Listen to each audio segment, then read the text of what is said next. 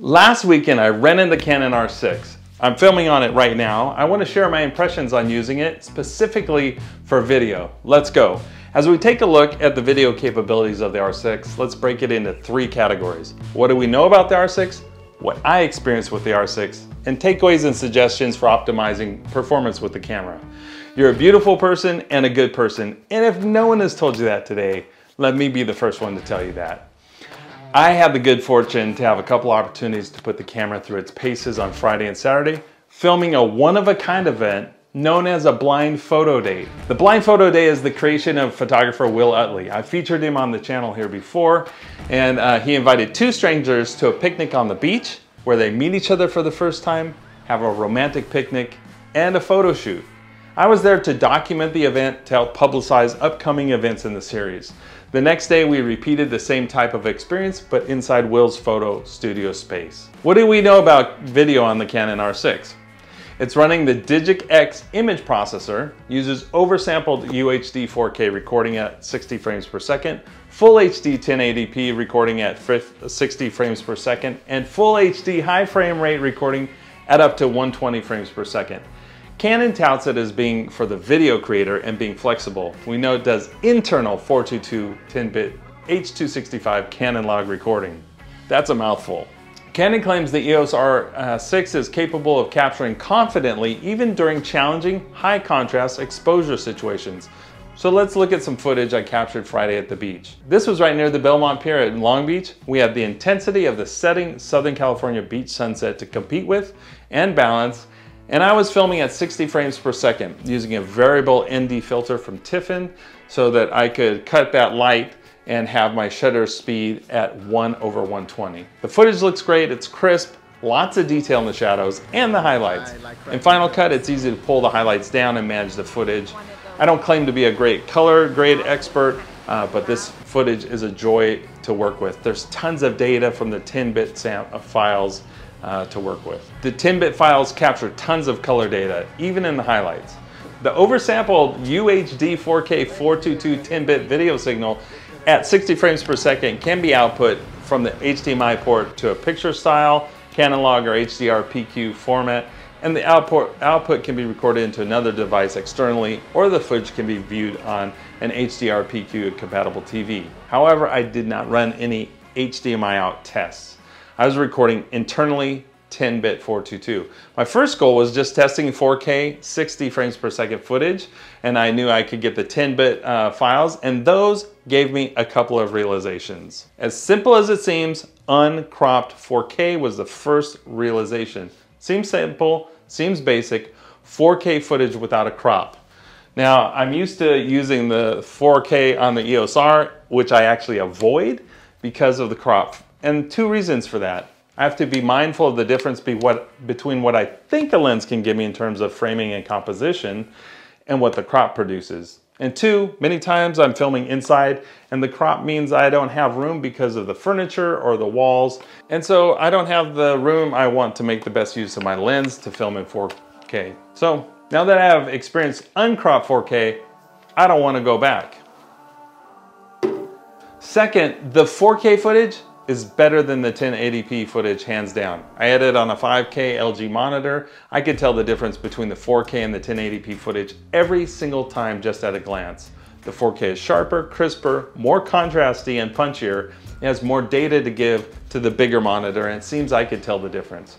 Now, not all 4K footage is created equal. I could put the Sony RX106 up next to the R6 4K footage. There's a couple of hundred megabits difference in the bitrate.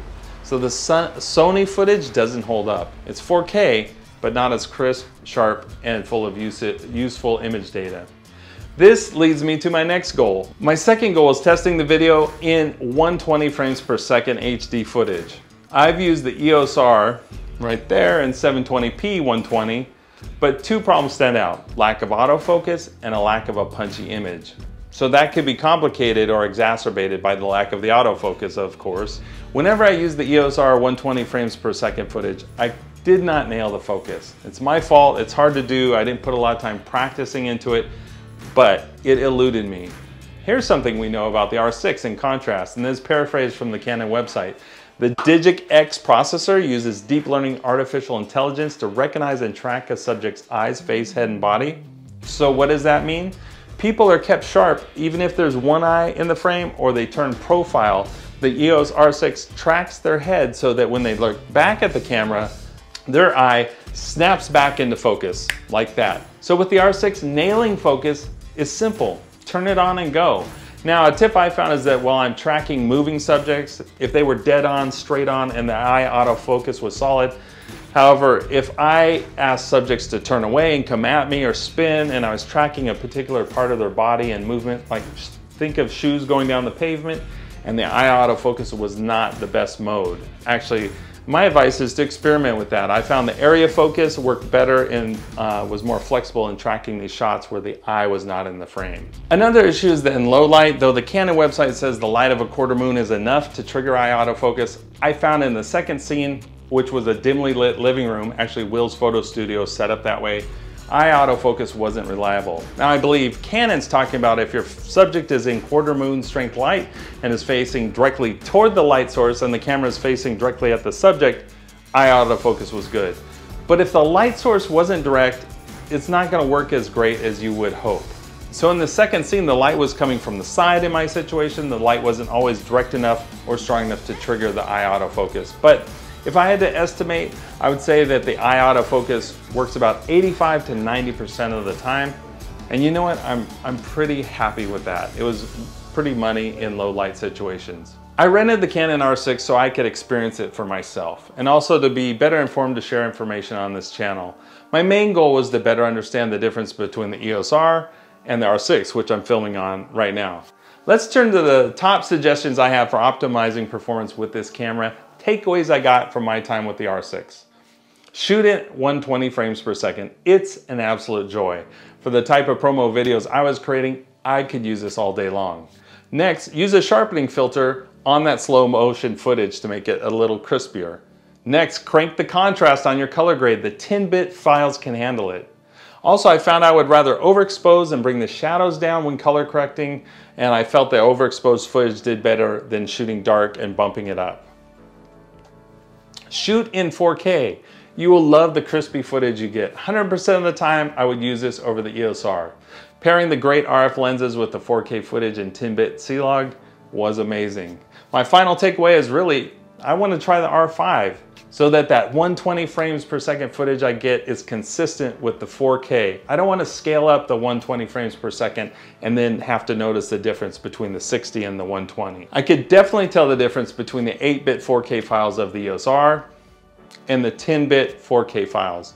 For the price point, $24.99 versus $17.99 for the R, I would definitely, definitely suggest and recommend the R6. I feel like the R6 is a significant step forward in quality, ease of use, and I'm really hungry to try the R5. For the price point, $24.99 versus $38.99 for the R5, I would definitely recommend the R6.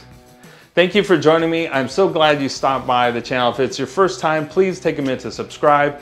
Leave me a comment. Let me know what you think of these cameras, and I'll see you in the next video. Peace.